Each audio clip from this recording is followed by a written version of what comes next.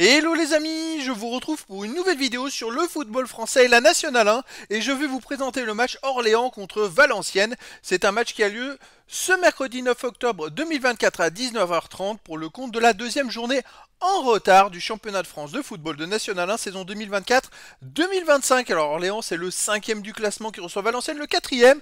Donc dans cette vidéo on va revenir sur le classement de la National 1 avec les statistiques des deux équipes. On verra aussi le classement des meilleurs buteurs en National 1 ainsi que pour ces deux équipes en National 1. Puis on enchaînera par tous les résultats et stats de tous les matchs joués toutes compétitions confondues depuis le début de la saison par ces deux équipes, les résultats et stats d'Orléans à domicile et les résultats et stats de Valenciennes à l'extérieur, ce qui nous permettra d'avoir une idée, une tendance à cette rencontre. Alors, vu que c'est un match il n'y a que euh, ces deux équipes qui jouent euh, dans cette journée. Et donc, euh, Valenciennes, on va commencer par Orléans qui reçoit Orléans, est cinquième avec 12 points en 7 matchs, 3 victoires, 3 nuls, seulement une défaite, 11 buts marqués, 7 buts encaissés, plus 4 de différence de but. Orléans n'est qu'à 3 points des deux premiers Nancy et Concarneau. c'est vrai qu'ils ont un goal average Orléans de plus 4, donc s'ils gagnaient ce match par un but ou deux buts d'écart, après il faut voir le nombre de buts qu'ils vont marquer, euh, s'ils gagnent par un but d'écart, eh ben, ils seront tout simplement deuxième du classement. S'ils gagnent par deux buts d'écart, ils prendront la première place au goal average euh, particulier entre, contre Nancy et Concarneau. De son côté, Valenciennes est quatrième pour l'instant avec 13 points en 7 matchs, 3 victoires, 4 nuls, aucune défaite, 13 buts marqués, 8 buts encaissés, puis 5 de différence de but. La, Valenciennes, c'est la seule équipe invaincue pour l'instant en national. Par contre, ils ont fait 4 matchs nuls, donc ça les pénalise d'un point de vue comptabilité points euh, au classement. En cas de victoire, à Orléans, Valenciennes serait tout seul en tête avec 16 points.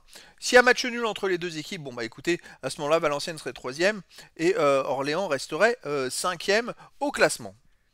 Alors, au niveau euh, des meilleurs marqueurs, pour Valenciennes, on a le meilleur marqueur de National 1 qui est Oyevusi avec 6 buts en 7 matchs.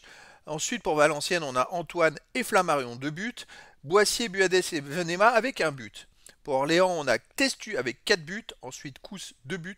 Goujon, El Misti, euh, Silla, Berthier avec 1 but.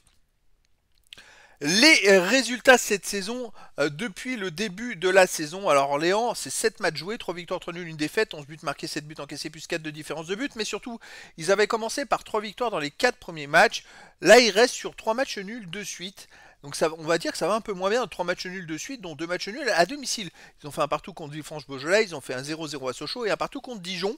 Donc il y a une petite baisse de régime pour eux qui arrivaient au début de saison à gagner les matchs. Euh, il n'y a que contre Concarneau qu'ils avaient perdu à domicile 3-2. Euh, pourtant ils avaient marqué deux buts, mais dans les autres matchs ils marquaient deux buts, au moins ils gagnaient. Et puis il y a une victoire 3-1 à Versailles aussi. Mais voilà, est-ce qu'il y a une baisse de régime? Bonne question. Valenciennes, de son côté, a démarré très fort le championnat. Sur les 7 matchs joués, 3 victoires, 4 nuls, aucune défaite. Mais ils ont commencé par 3 victoires d'affilée. Ils ont joué 3 fois de suite à la maison. Ils avaient gagné. Ils étaient même en tête, je crois, de National 1 à ce moment-là. Depuis, bah, ils ont enchaîné 4 matchs nuls. Ils ont un peu plus de mal à gagner les matchs. Donc il va falloir voir ce que ça va donner contre Orléans qui fait beaucoup de matchs nuls. Alors j'espère pas qu'il va y avoir un match nul entre ces deux équipes, mais on tend euh, vers ce style de match. Alors à domicile, Orléans, c'est pas terrible. Hein. C'est-à-dire qu'ils sont quand même très très bien classés euh, au classement. Ils sont quand même, ils ont la possibilité de prendre la première place du classement, alors qu'à domicile, en trois matchs, c'est une défaite et deux nuls. Deux points sur neuf à domicile, c'est fou, en étant aussi bien classé. Valenciennes à l'extérieur, bah écoutez, c'est que deux matchs joués, deux nuls, un partout. Donc on a Orléans qui reste sur deux nuls, un partout à la maison, Valenciennes qui reste sur deux nuls, un partout à l'extérieur. J'espère pas, vraiment pas qu'on aura un match nul un partout. Après, voilà, dans le foot, tout est possible. Et donc, les amis, je vous donne rendez-vous euh, ce mercredi 9 octobre 2024 à 19h30 pour le match de football de la deuxième journée en retard du championnat de France de National 1 saison 2024-2025. Orléans, le cinquième du classement, reçoit Valenciennes, le quatrième. Voilà les amis, je vous dis à très bientôt pour une nouvelle vidéo.